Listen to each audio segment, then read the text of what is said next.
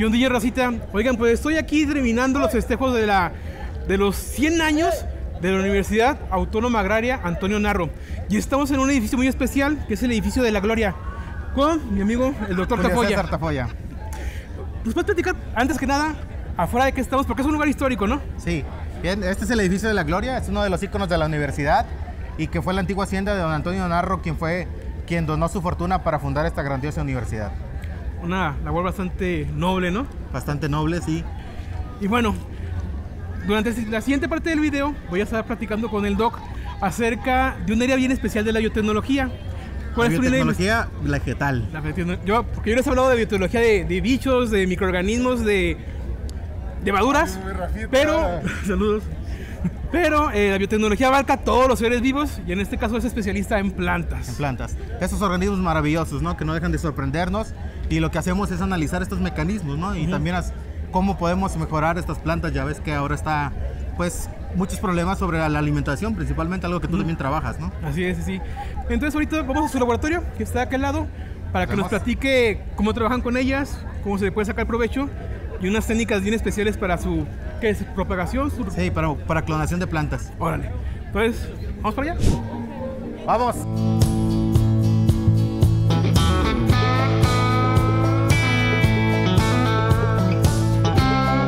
Hola, ¿qué tal? Bienvenidos al Laboratorio de Biotecnología y Biología Molecular.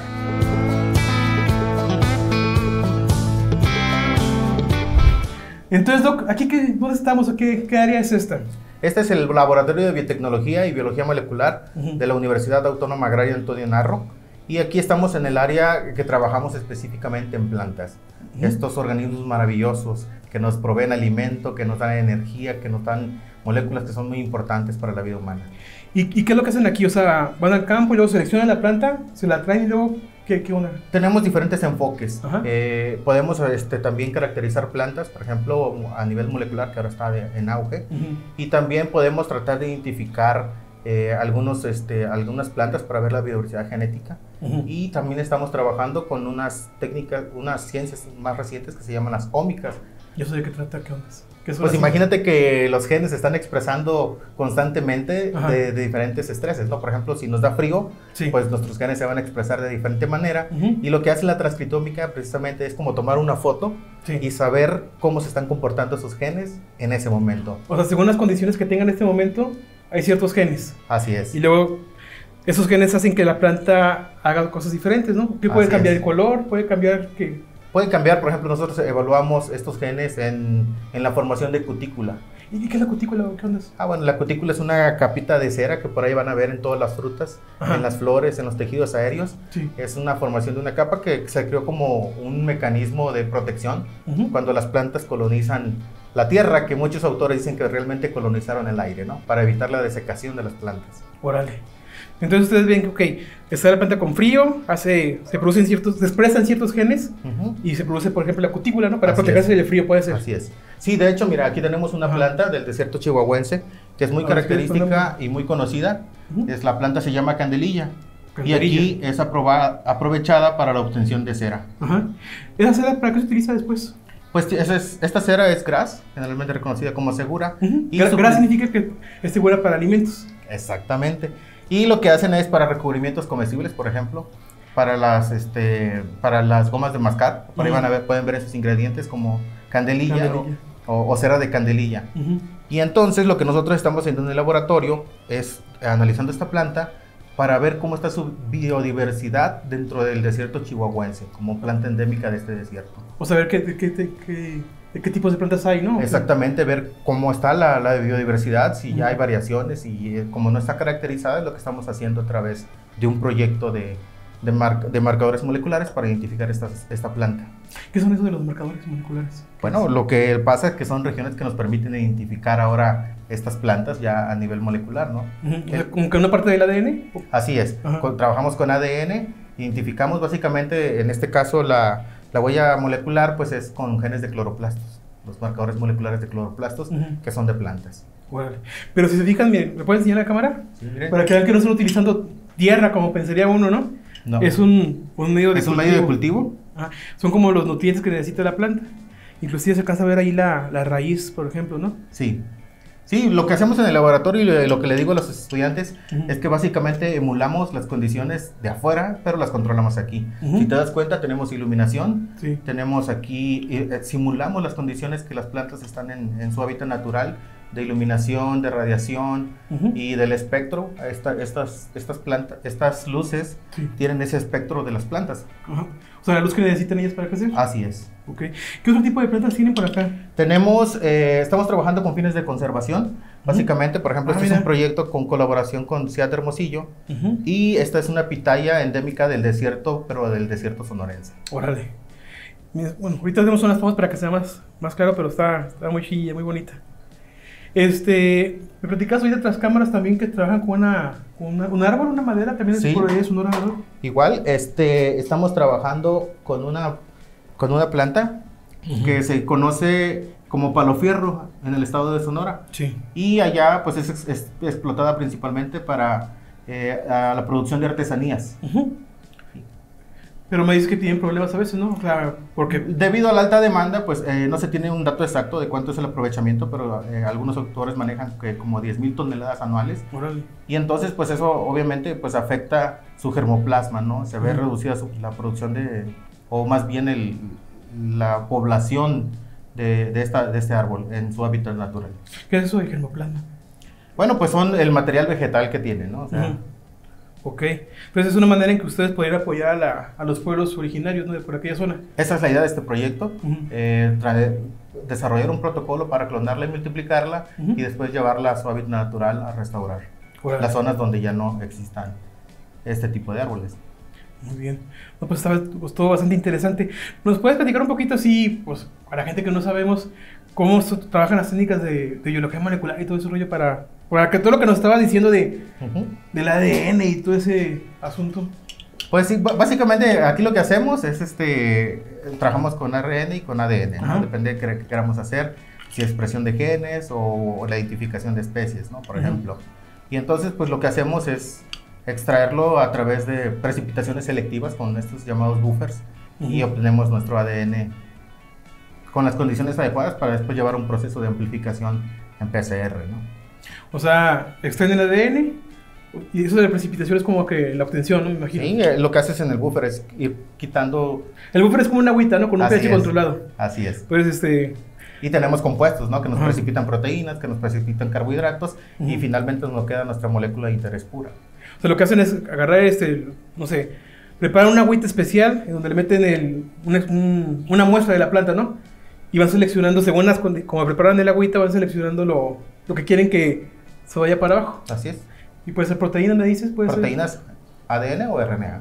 Ya con eso después ustedes hacen sus, sus análisis para ver qué genes están expresando, ¿no? Así es. Muy bien. Por acá tenemos otro tipo de plantas, con otro tipo de cultivos, ¿se puede llamar eso? Sí, estos son llamados sistemas de inmersión temporal y es una, bueno, una, una forma de propagar mucho más rápido las plantas que en un cultivo sólido, ¿no? Que en Ujú. un medio sólido. Si te das cuenta, aquí tenemos un medio gelificante y la planta pues tiene o está, está absorbiendo los nutrientes pues siempre, ¿no? los tiene disponibles aquí. Ujú. Sin embargo, cuando los tenemos aquí en un sistema de inmersión temporal, eh, tenemos el, el medio líquido, que son los nutrientes de la planta, pero eh, el medio líquido, ¿no? Ujú. Y lo que hacemos es darle inmersiones o bañarlos para que las plantas aprovechen esos nutrientes, ¿no? Como si estuviera lloviendo dentro. Así es. Y Sí. bueno, con, con lo que necesita para comer. Así es. ¿Y, y por qué se hace diferente? ¿O por qué? ¿Cuál es la...? O sea, dices que se, pre- que se propaga más rápido Sí. y es para otro tipo de análisis o... No, es básicamente lo mismo. Ujú. Nosotros para poderlos llevar a este tipo de sistemas de inmersión temporal necesitamos desarrollar primero el protocolo acá. Ah, ok, ok. Y lo único que hacemos es no ponerle el agente calificante Ujú. y eh, te- como estos los frascos son mucho más grandes nos permite tener muchas más plantas. Órale, muy bien. Y bueno, como para ir fin- finalizando, eh, se nos puede platicar así ya, o sea, aquí hemos toda la parte de laboratorio y todo eso, ya nos platicaste un poquito, pero así, ¿cuál sería como que la aplicación ya directa de todo esto de, de tu trabajo? O sea, ¿cuál sería el beneficio para... ¿Por qué estudiar todo esto? Pues, en pocas palabras. Bueno, nosotros lo- los proyectos, de hecho tenemos proyectos de, de innovación que, que la idea es tratar de, de poder registrar algo como un modelo de, producción de plantas, en este caso como el de candelilla, ¿no? Ajá. Y con fines de conservación, básicamente. Hacemos dos, pero básicamente la mayoría de las plantas que tenemos aquí son con fines de conservación. Son plantas que están enlistadas como especies amenazadas o en peligro de extinción y lo que queremos es eh, clonarlas, multiplicarlas y llevarlas a su hábitat natural, ¿no? Porque existen muchos problemas, si te das cuenta, por ejemplo, algunas plantas son muy difíciles de propagar a través de semilla, por ejemplo, o que su semilla no está todo el año. Y entonces, si te das cuenta, aquí, con las condiciones, nosotros podemos trabajar plantas 24/7, ¿no? Los 365 días del año y tener plantas digamos que una producción de manera ilimitada. Como una fabriquita de plantas. Es una biofábrica, así es. Tenemos un cambio en la alineación oficial. Y está conmigo Bernardo. Bernardo, ¿tú aquí qué onda? ¿Qué haces por acá en este laboratorio? Soy técnico académico de este laboratorio y trabajo más con cultivo de tejidos. Tu cultivo de tejidos in vitro y principalmente con pues, las plantas que más, admiro, las plantas carnívoras. Órale. ¿Y qué o sea, ¿por qué, ¿por qué trabajar con plantas carnívoras o qué ondas? De hecho. ¿También para conservación? Eh, de hecho, es una parte que tenemos interesante en el laboratorio, que es la parte comercial.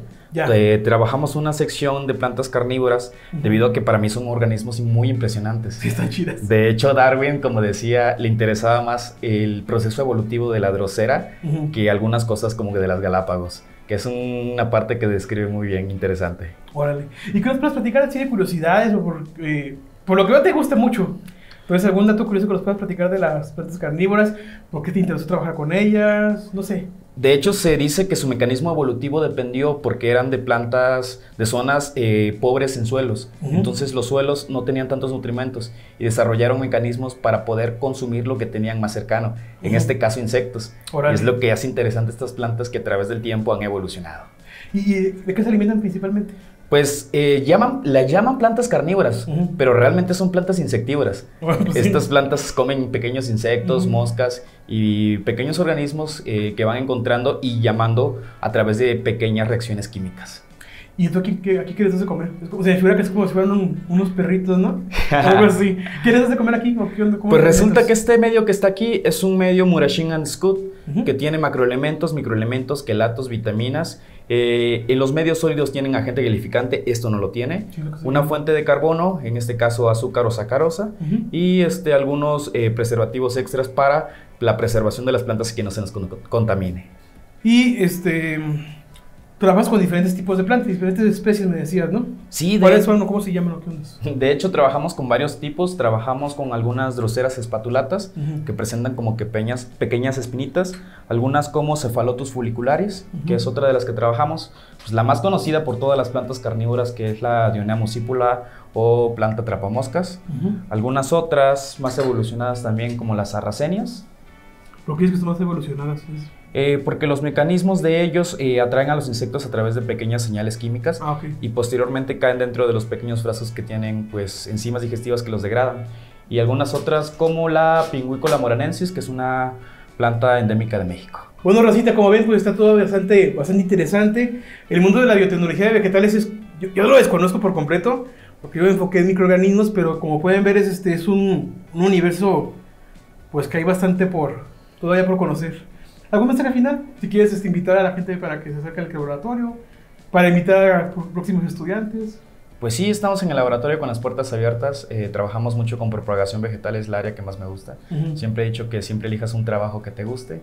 Y si es un trabajo que te guste, pues no estás trabajando, estás disfrutando de lo que haces. Y pues qué hermosura ver a estas pequeñas plantas crecer todos los días. Sí, es lo chido, que son este, trabajos en los que precisamente puedes exactamente ver lo que estás trabajando y cómo va funcionando la, la biotecnología. Exacto.